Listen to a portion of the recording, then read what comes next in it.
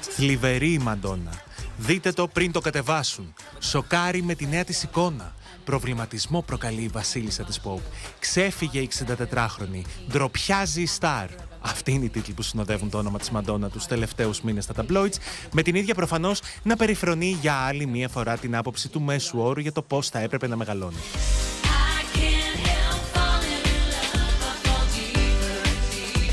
Την είδαμε με εξωπραγματικά φίλτρα. Την είδαμε σε σουρεαλιστικές πόζες. Την είδαμε ημίγυμνη ή και ολόγυμνη. Την είδαμε να μεταμφιέζεται σε ζόμπι. Την είδαμε να κάνει twerking.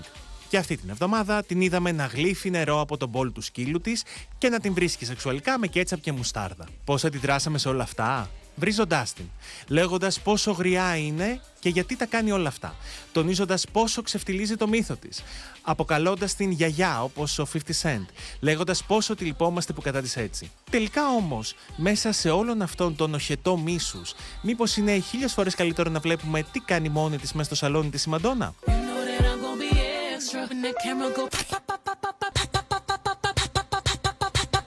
Η μία θεωρία για την περίπτωσή της σήμερα λέει ότι έχει χάσει το μέτρο στην προσπάθεια να παραμείνει νούμερο 1.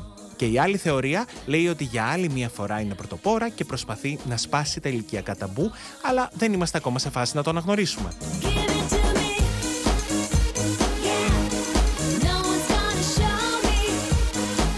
Το ίδιο εξάλλου δεν έκανε και τις πρώτες δεκαετίες της καριέρας της. Η γυναίκα που αμφισβητήθηκε όσο καμία άλλη στον κόσμο, απλά και μόνο επειδή είναι γυναίκα, ξέρει καλά να παίζει το παιχνίδι. And here we go. I hope you're hungry for nothing. Όπως είπε πρόσφατα και η ίδια, όλα τα χρόνια της ζωής μου προσπαθούσαν να με κάνουν να ντραπώ επειδή ενδυνάμωσα τον εαυτό μου ως γυναίκα. Με είπαν που μάγισσα, ερετική και διάβολο. Σήμερα συνεχίζει να μας κάνει να νιώθουμε άβολα.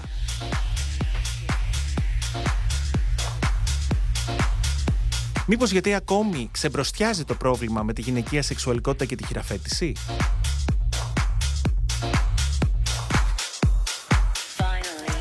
Εγώ θέλω να πω στην αρχισυνταξία να μην δίνει ποτέ στο φαν της Μαντάνα αξιότιμο κύριο Τάσο να κάνει ένα βίντεο Αξιότιμος. γιατί την αφώσε, την απενοχοποίησε φουλ. Α, να δούμε και αυτή την Ε, πλευρά. είπα- μπορεί κάποιος να σχολιάσει φαν της Μαντόνα, άλλος ή. Κι άλλος ένας εδώ είναι το fan club στην γωνία. Σας Οι τρεις κάνω μας. bullying. Να σου πω κάτι. Εγώ έχω μεγαλώσει με τη Μαντόνα. Είναι και ο πρώτος μου δίσκος. Μου τον έφερε ο παπάς μου 6 ετών ήμουνα. Και μου Ωραία. λέει πάρε, αυτή είναι η Μαντόνα. Άκου. Να μάθεις τα βασικά, να Ναι, ξεκινήσουμε γιατί με του τα παπά μου βασικά. του άρεσε ξένη μουσική. Τώρα αυτό πες ήθελε. μου, άστα τότε που Ναι, ήσουν παιδάκι. λοιπόν, η Μαντόνα πάντα προκαλούσε. Αυτό θέλω να πω. Β- Έχει βρει νέους τρόπους να προκαλεί σύμφωνα με την εποχή. Η σεξουαλικότητα, ας πούμε, της Μαντόνα πάντα ενοχλούσε τον κόσμο.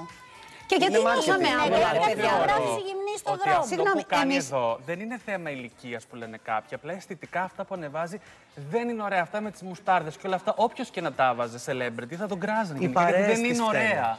Φταίνε. Οι παρέες της φταίνε. Δεν πήγε στο γάμο της παρασύρανε. Britney Spears. Έχει πολύ ελεύθερο χρόνο σπίτι της και η Britney ανεβάζει όλο βίντεο από Ε, το ας είναι σπίτι. και κάποιος δίπλα στην Ανεβάζει Britney. βίντεο Αφήστε και την εκείνη. Britney τώρα, μην μπερδέψουμε και την Απλά Britney. με τα social media και Ναι, μπορεί απλά θέλω να σου λόγω πω τη ότι σχέση της πάντα με τα ότι- social, αλλά θέλει να ανεβάζει Ναι. συνέχεια περιεχόμενο. Δεν ήταν καλέσθητο για όλους πάντα αυτό που κάνει η Μαντόνα. Όταν βγήκε με το True Blue και είχε κόψει τα μαλλιά της κοντά και ήταν όλοι γυμνασμένοι για την εποχή, λέγανε ότι είναι χάλια. Εγώ θα Τη συμφωνήσω βρίζανε. μαζί σου, αλλά δεν ένιωσα ποτέ άβολα με τη Μαντόνα. Τώρα νιώθω Δεν υπήρχαν άβολα με τη social Μαντόνα. Τι όμως σημαίνει, τότε. έχω μεγαλώσει και δεν έχω Δεν το υπήρχαν μάτι να δω social τότε το για να- νεανικό μυαλό της Μαντόνα ή η Μαντόνα κάνει υπερβολές για να τη Δίνει δίνει. έναν Μαντόνα αγώνα, είναι πιστεύω, Μαντόνα, για να αυτό. έχει πάντα την προσοχή πάνω της και δυστυχώς γεια το σου. κάνει με λάθος τρόπο κάποιες φορές και ξεφεύγει. Έχεις δίκιο, πάμε στο παρακάτω.